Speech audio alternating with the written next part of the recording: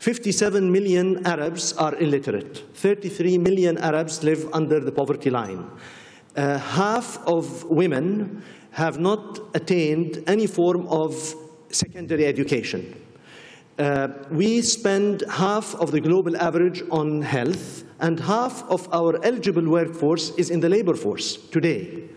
So when you look at this situation, you draw lessons from the past and you try to think of ways for the future. Uh, you really need to think about devising a new economic paradigm for this region.